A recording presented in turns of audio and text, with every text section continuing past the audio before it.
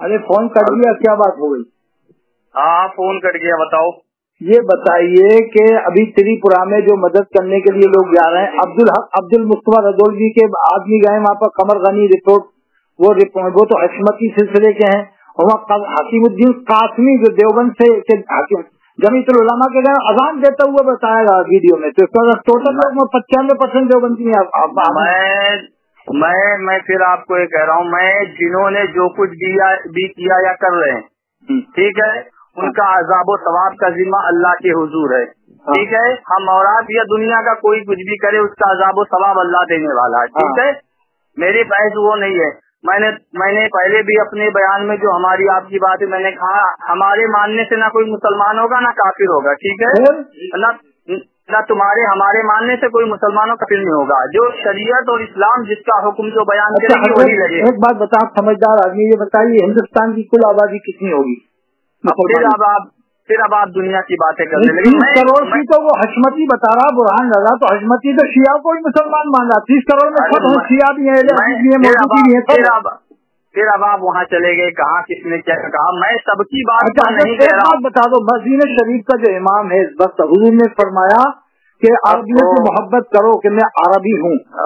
और मस्जिद नबी का इमाम आला हज़रत शेर ने कहा खालिद कुल ने मालिक कुल बना दिया दोनों जहाँ मैं, मतलब? मैं तुम्हारी सारी बात मैंने सुनी मैं सुन रहा हूँ। मैं सिर्फ़ एक बात फिर दिल से बताओ अजमेर शरीफ में रह रहा हो ये ख्वाजा गई नवाज़ इमाम हुसैन असलाम की औलाद में है। मस्जिद नबवी के आप इमाम को मोमिन मानते हो या नहीं मानते? उससे उसके बारे में मुझे तहकीक नहीं मैं कुछ नहीं बोलूँगा तो लेकिन काफिर से नहीं कहते ना उसको? मैं नहीं मैं क्या कहता हूँ क्या नहीं मैं मेरे मेरी जो आपसे बात है सिर्फ़ वो क्योंकि आपने अपने ऑडियो में ये कहा। मैंने कहा मस्जिद नबवी के इमाम के पीछे नमाज़ हो जाएगी दलील दी कुरान से फलन वली अल्लाह का तजरतन तरबा हबीब अंदर नहीं फरमाई आपकी मर्ज़ी और अल्लाह ने नमाज़ की हालत में कबला बदल दिया। तो क्या इमाम को नहीं बदल सकता? ओहो अब आप जो है फिर आप कहाँ से कहाँ चले जाते हैं? बात करते हो। पहले अच्छा तो। के खलीफा महाराज चालीस साल क्यों रहे? वहाँ पर नमाज़ नहीं पढ़ते होंगे तो जुमे की नमाज़ नहीं आएगी चालीस साल में? उन्होंने अपने बेटे की शादी वसी और इनकी गवाही जब ये मानते मरदूद है तो फिर उन्होंने अपने बेटों के गवाही को गवाह बना देने के मुकाम आपकी आपकी सारी बातें आपके ऑडियो में मौजूद है मुझसे कह रहे हैं ठीक है? ये सब उसमें है। आप शरीफ बात- में रहकर ये बताना चाहते हो कि मैं आला हज़रत को गरीब नवाज़ से बड़ा मनवा के बताऊँगा इन से नहीं ये नहीं अगर गरीब- तो करो गरीब नवाज़ की शान अपनी जगह अल्हम्दुलिल्लाह गरीब नवाज़ की शान अपनी जगह मुकद्दम है। मजरे चिश्तो बुखारा व इराको अजमेर ये तो फिर तो सी तुम जबान से तो अंदर से कुछ और कर रहा हूँ मामला। अल्हम्दुलिल्लाह हम हम मानते हैं करवाना चाह रहा हूँ इरफान ख्वाजा गरीब नवाज़ का है कि बड़ा आला का है? बे- बेशक सरकार गरीब नवाज़ अगर दे तो तो गरीब नवाज़ के झंडे गाड़ो ना हर जगह। हज़ारों की तादाद में जो है इमाम अहले सुन्नत लोग जिस पैदा होंगे ये गरीब नवाज़ की आता है जो बरेली में आला हज़रत पैदा तो है। गरीब नवाज़ है। किया है आला हज़रत का लिखा हुआ है कि यहाँ पर सिर्फ़ सलाम अलैका पढ़ा जाएगा। अब फिर तुम कहाँ से कहाँ चले जाते हो? जी यहाँ अब आप यहाँ वहाँ क्या किसने क्या ये सब बात होगी बहस नहीं है मौजूद है बहस ये नहीं कि कहाँ क्या किया जाता है। अच्छा मैं तो मक्के शरीफ के इमामों को ही मुसलमान मानता हूँ वहाँ के रहने वालों को मानता हूँ मदीने शरीफ के रहने वालों को भी मानता हूँ। आप पूरी दुनिया को मानो ना आपका मानना इस्लाम में दलील थोड़ी ना है। ये बात तो भैया मेरा मानना दलील तो थोड़ी ना है। आप क्या मानते हो? अरे फिर मैं क्या मानता हूँ? मैं तो मुसलमान मानता हूँ ना मक्के शरीफ आप क्या मानते हो? अरे तुम कुछ भी मानो बहस वो नहीं मैं क्या कर रहा हूँ? आप कुछ भी मानो पूरी दुनिया को मानो ना। तो हमको मतलब के बारे में कितना एहतियात किया उलमा ने कि सौ पहलू अरे उलमा ने एहतियात किया। लेकिन लेकिन जिसका कुफर ज़ाहिर हो जाए उसी को तो काफिर माना जाएगा जाए। सलमान रिजी वसीम रिजी वसीम शैतान को ऐसे थोड़ी हरे को काफिर मान लिया जाएगा। अरे भाई जिसका कुफर ज़ाहिर हो जाए खुल जाए जिसे बताया जाए अपने कुफर से तौबा ना करे तो उस पर हुक्म लगेगा दिल्ली में ज़्यादातर देवबंदी है भोपाल में नब्बे पचानवे परसेंट देवबंदी है। भाई अब तुम फिर ये बात करने लगे की यहाँ कुर्बानी करते हो कि नहीं करते आप? ओ वहाँ वहाँ से क्या मतलब है? आप क्यों करते हो? जब वहाँ पर गोश्त उनको दोगे खाद उनको दोगे।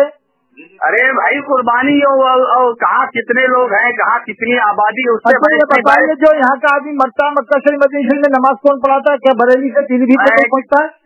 अरे ये तुमने सारी बातें अपने ऑडियो में कह रखी है तो मुझे क्या आप बता इस बात को मानते क्या नमाज़ कौन पढ़ाता है वहाँ पर? बस आखिरी बात अरे जनाजा कौन पढ़ाता है? है। ये बताइए जनाजा कौन पढ़ाता है? आप पहले उनके को बस। जनाजा क्यों कि हाँ वहीं का इमाम पढ़ाता है। आप ईमान साबित कर दीजिए बस बात मैं कर रहा हूँ साबित? वहीं का इमाम नमाज़ पढ़ा रहा है यहाँ के बरेली अरे वहाँ के ईमान के बोली ना ईमान पर हमारी बात हुई है आपकी।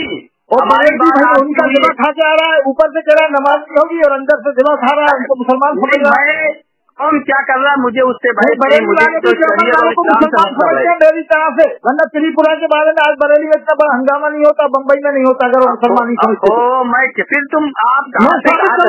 त्रिपुरा मेरे साथ मैं साबित कर दूँगा जिनको बरेली वाले। वहाँ देवबंदी कहते हैं वही लोग हैं त्रिपुरा में नब्बे परसेंट पचानवे परसेंट। अरे फिर तुम कहाँ से कहाँ चले गए? मैं फिर वही त्रिपुरा भोपाल गुजरात आप कहाँ कहाँ तो क्या मानते हो? त्रिपुरा वालों को आप मुसलमान मान रहे हो या नहीं? बगैर कैसे आप मुसलमान मान रहे हो? ओहो मैं क्या कह रहा हूँ आपका जो दावा आप क्या मानते हो जिन पर जुल्म हो रहा है उनको मैं मुसलमान मानता हूँ। अरे भाई अब आप कह रहे हो किसको जिन मस्जिदों में आग लगाई गई उनको मैं मुसलमान मानता हूँ। सत्रह मस्जिद बता रहे हैं हाफिज कासिम हाफिज मोहम्मद साहब। आप जो भी बता रहे मुझे मैं ये तो मस्जिदों में क्या आप मानते हो कि देवबंदियों की है? या किसकी है? फिर अब आप से क्या मतलब तो तुम मुसलमान मान रहे हो देवबंदी भी मुसलमान मानता है बरेलियों को बरेलवी भी दिल से देवबंदियों को मानता है। जबान से सब एक दूसरे को काफिर कहते हैं। लेकिन जब वक्त जाता है ना झगड़े का तो सब एक दूसरे को मुसलमान मानते हैं। अहले हदीस भी मानता है बरेलियों को मुसलमान। और जबान से मैं काफिर कहता है अहले लेकिन जब ऐसा वक्त आता है तो अहले हदीस भी मुसलमान मानता है आपस क्या कह रहा हूँ? आपने जो उनके इमामों को ईमान साबित करने की कोशिश की उस पर किसको ईमान वाला साबित करने की कोशिश की मैंने? आपने कहा मैं देवबंदियों के जो पेशवा उनको उनके बारे में मैंने कब कहा था? मैंने कहा जो आम मुसलमान है देवबंद वाले उनको मैं मुसलमान मानता हूँ उनको साबित कर दूँगा क्योंकि आप पचास किताबें अगर मैं दावा करूँ ये रिकॉर्ड हो रही है। भोपाल हाँ। सौ किताबें तकरीर ईमान की बता दो उसे बारह सौ मजने कम दे। सौ किताबें बता दो मैं तुम्हारा गुलाम हो जाऊँगा। मैं ये नहीं मालूम है तो अगर आप हमारी बस्ती में सब देवबंदी आलिम है यहाँ पर नदी अगर तुम दस किताबें तकरीर ईमान की निकाल के बता दो मैं तुम्हारा गुलाम हो जाऊँगा या पचास आलिम है कम दे। अरे कुछ भी हो मैं कह रहा हूँ। एक भी मस्जिद में तकरीबन ईमान सिरात मुस्तकीम का दर्श नहीं होता न भोपाल में होता न दिल्ली में आपके होता न कलकत्ता में होता न मद्रास में होता। थोड़ी मैं आपके कहने से थोड़ी न मान लूँगा कि आप जो कहो वही सही है। अब जो फागले बरेली जिससे वो सही है क्या? बेशक उनका तो हक अच्छा देखिए आप बताओ इस ख्वाब के बारे में क्या हुक्म है कि मैं आप बताओ ना ईमान बरेली हर बात सही मानते तो बताओ आप ईमान साबित कीजिए। तो आप बताओ ना फागले बरेली की बात हम आ रहे हैं। जिस अशरफ अली। सफ़ा नंबर पच्चीस जिल्दों में अरे मैं आपकी बात शख्स का ने जवाब नहीं अल्लाह के ख्वाब अशरफ अली थानवी ने रहे हैं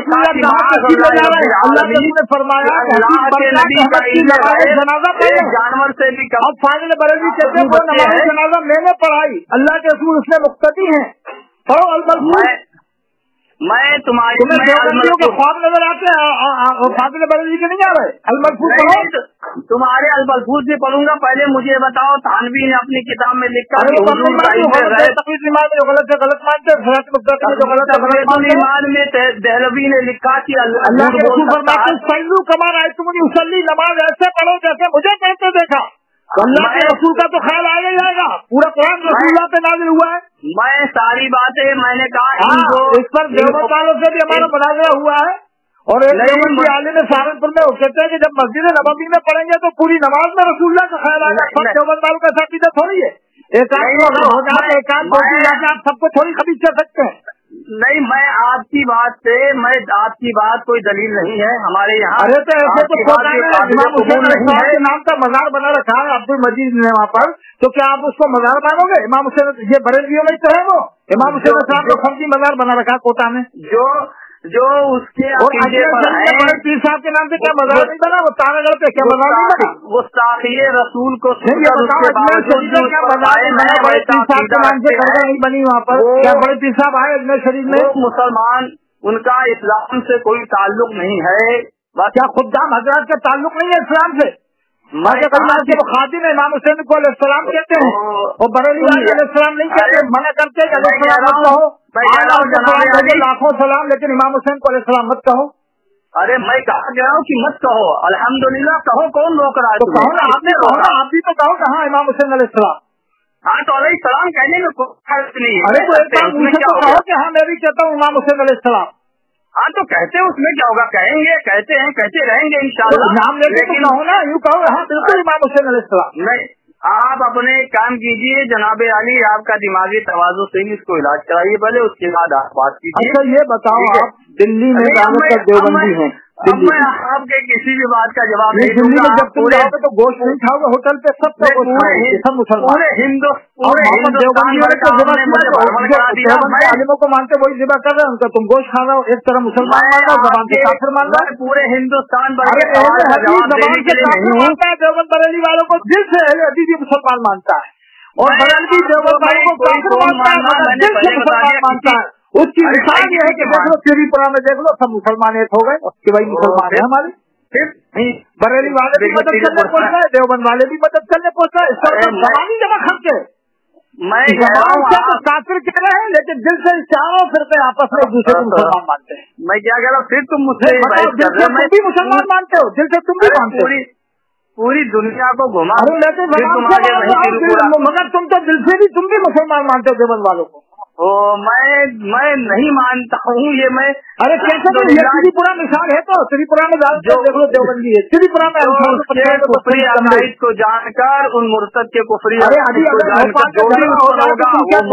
मुसलमानों के लिए आवाज़ नहीं उठाओगे? यही तो कहोगे हमारे भाई हैं हालाँकि वो देवबंदी है। फिर अब तुम फिर तुम अब वो आगे कहा मैं अभी बात तो कहा था अरे तो भाई साहब सब दिल से बाद में गुफ्तगू होगी। तीस करोड़ की आबादी क्यों बताते हो? क्योंकि सब दिल से मुसलमान मान रहे हैं।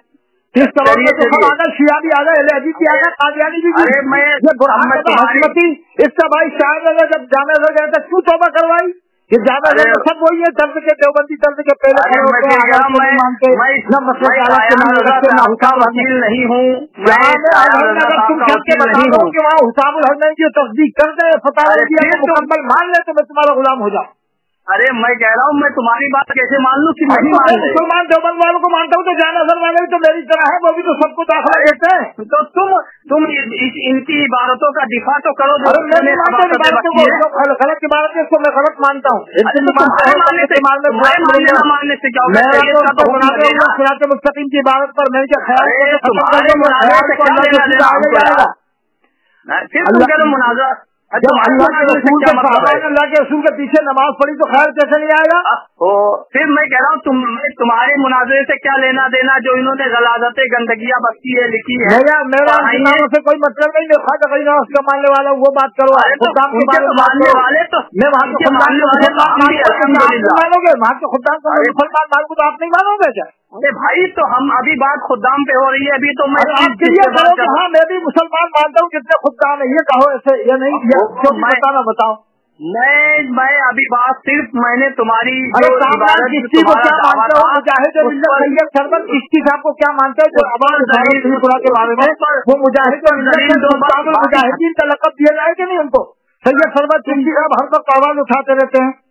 तुम्हारे दावे की दलील पेश करो जो तुमने इन जो बंदियों भाभियों नजदियों के गुरु घंटालों को इनके ईमान का तुमने नहीं दावा उनके बात नहीं इनके- उनके जो गुरुओं की बात नहीं की बात है ताबील- उनके गुरु की तो तो बात की था। मेरी कैसे में बताओ कि गुरु की मैंने बात की हो। नहीं नहीं या, या तो तौबा करो। नहीं तुम बताओ मैंने गुरुओं की बात की हो तो। गुरुओं की बात की हो तो तब तौबा करूँगा कि की। वो ऐसी इबारतों को मैंने सही साबित करने का कहा वो ऑडियो बताओ। आप अरे आप चैलेंज या करो तो- वो ऑडियो दिखा दो कहीं भी कि मैंने ऐसा बोला हो कि मैंने इबारतों को सही साबित करूँगा बोला मैं आपने ये नहीं बोला मैं तमाम कलमा गो को मुसलमान मानता हूँ। मानता हूँ कलमा गो को तो आप भी मानते हैं। नहीं कलमा गो तो को मानते हैं। मुसलमान मान रहे हैं। लेकिन जो रसूलुल्लाह की बारगाह में में तो पढ़ने वाले क्या ऊपर मुसलमान नहीं मानते। अच्छा भाई चलो ठीक है बात होगी बाद में बात होगी चलो। बाद में क्या बात होगी? मुनाजरे में चैलेंज दे रहा हूँ फिर भाग रहा हूँ। नहीं भाग नहीं रहे अब मैं बताओ कि अजमेर शरीफ हम कब आए वहाँ पर आपसे मुनाजरा करने। हाँ हाँ मैं बता दूँगा आप मुनाजरा करने आ जाना। मक्के शरीफ मदीन शरीफ वालों के बारे में दलीलें रखना कि वहाँ इमाम मेहदी मैं- मेरा और मेरी सामने आएँगे कि से मदीना जिनको कहा जाता है कुतुब मदीना अब क्यों कहा गया। तेरह साल में कितने कुतुब हुए? सामने रखना मैं आपको और आला हज़रत को जो तुम्हें मनवाना ना वो भी खुद दाम के सामने बताना कि हम आला हज़रत को गरीब से बड़ा बताएँगे और बताएँगे कि उनका इंसान ज़्यादा है अल्हम्दुलिल्लाह आला अल्हम्दुलिल्लाह से इख्तिलाफ अल्हम्दुलिल्लाह। तो उलमाए है उलमाए रामपुरा उलमाए जाने अपनी ये कि ख्वाजे हिंद वो दरबार है आला तेरा तो कभी नहीं मांगने वाला तेरा। की क्यों बातें करते हो? वहाँ पर अल्हम्दुलिल्लाह। डाल रहे वहाँ पर रह के गला करते क्यों फेंक इधर उधर की बातें क्यों कर रहे हो? गरीब- नवाज़ ने काफिर बना लो? अल्हम्दुलिल्लाह अल्हम्दुलिल्लाह गरीब नवाज़ ने हमें ईमान की दौलत दी।